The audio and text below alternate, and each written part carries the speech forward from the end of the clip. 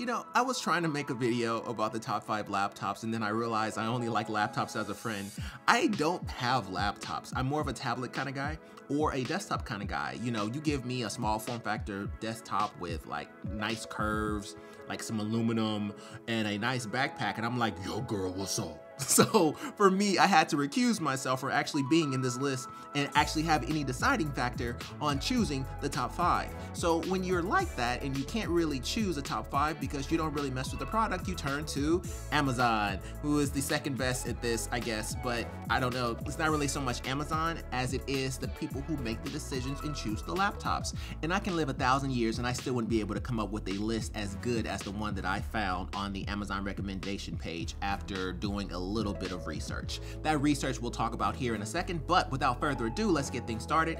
Also, be sure to hit the like button, comment, and subscribe. Be sure to uh, keep following. Uh, we will keep posting more content. We post content as much as humanly possible. And without further ado, let's get things started with the top five laptops as voted by you, the viewer. So with the criteria here, I did have to set some ground rules. So we can't essentially go off of just what it shows on Amazon because that's just misleading. So what I did instead is one, it must have four and a half stars or better. So you need to have four and a half stars in order to be considered in this list. Two, you have to be less than two years old, okay? I get that the 2020 MacBook Pro was awesome, but no one cares because no one's gonna buy it. So you have to be within two years old in order for you to actually be on this list. And then three, you have to have over a thousand reviews, okay? That is a minimum. But as you will learn here pretty soon, it doesn't matter. Everybody on this list has way more than a thousand reviews because that lets us know that out of a thousand reviews over the past two years, it still is a very, very positive product and is very well liked, which lets us know that this is a great product to go for. So without further ado, let's get things started. Kicking things off with the number five spot, we have the MSI Cyborg 2023 edition, the 15.6 inch model.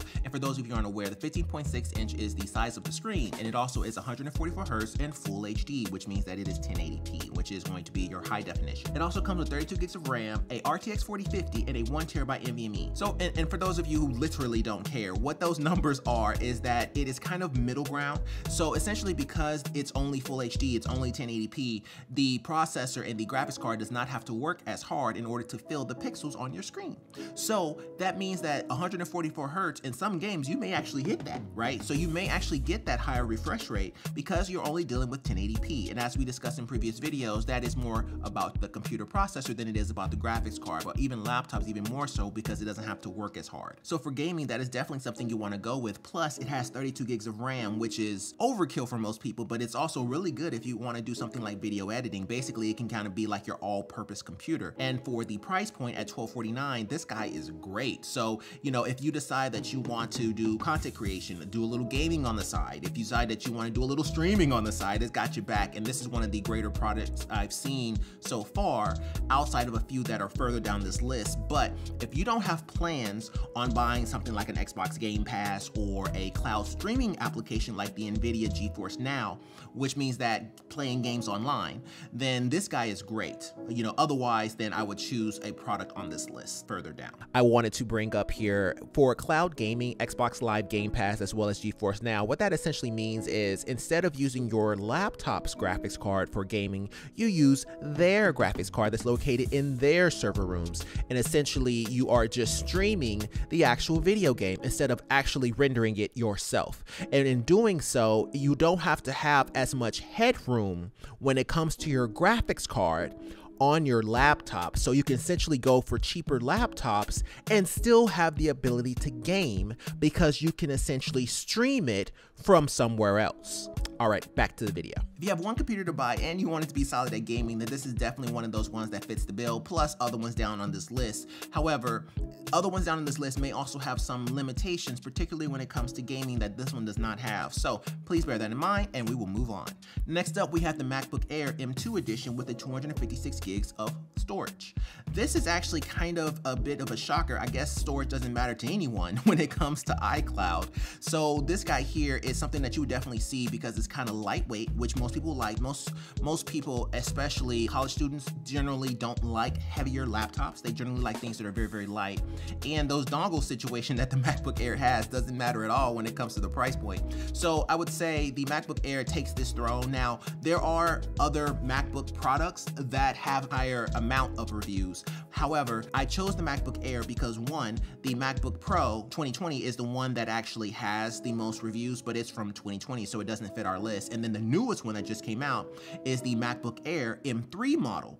And that guy's only been out for a few days, so it's never gonna hit the thousand, you know, review criteria that we currently have set. So this guy is a solid medium. However, if you are gonna go for the MacBook, then I would suggest going for the M3 model that just came out as opposed to going for the M2 model that is currently in its infancy.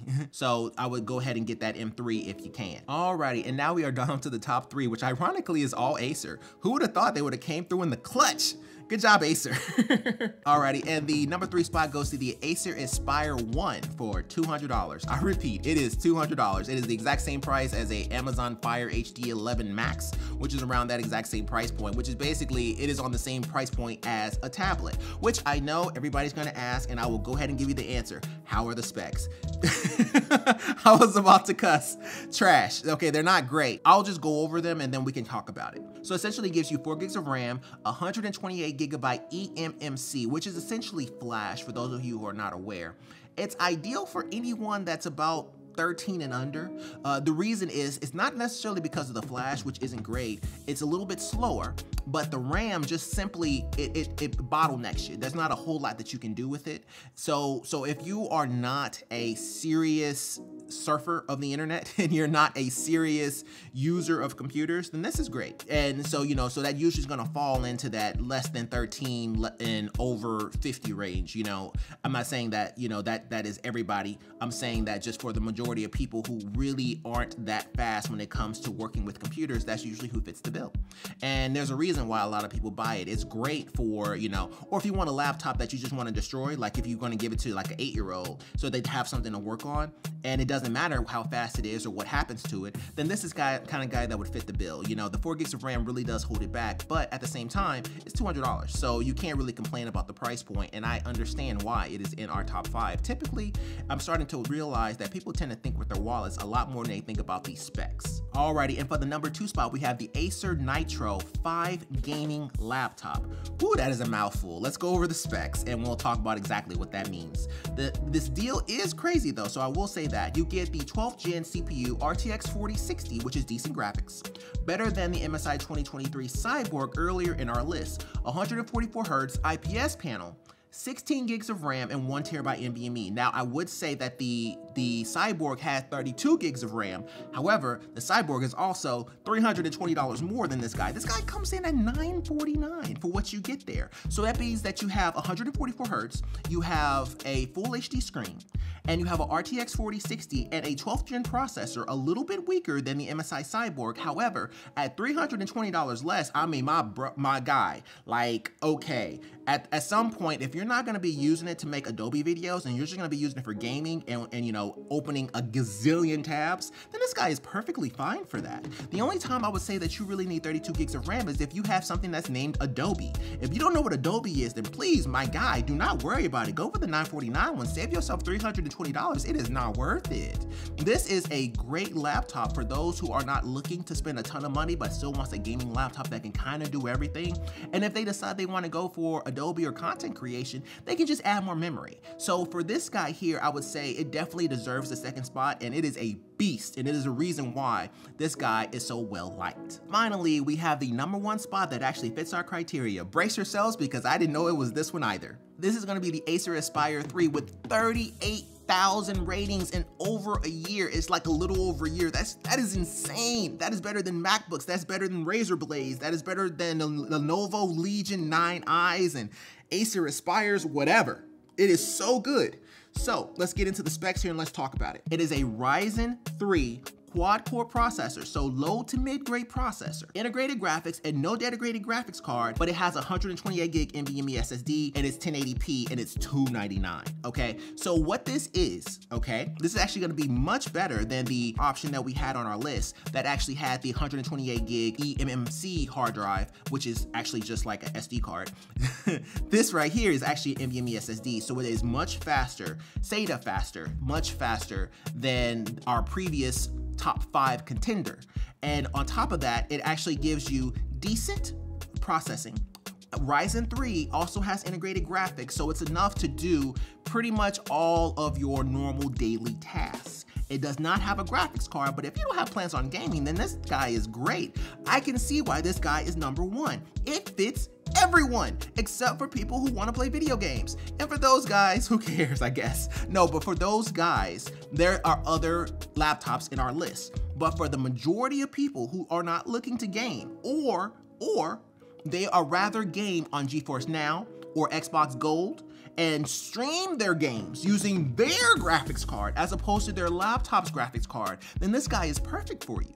It gives you exactly what you need and nothing more. And when I say nothing more, I mean nothing more. This guy is a bare bones processor that is good for all ages, okay? It's no limitations like it was with our $200 model above.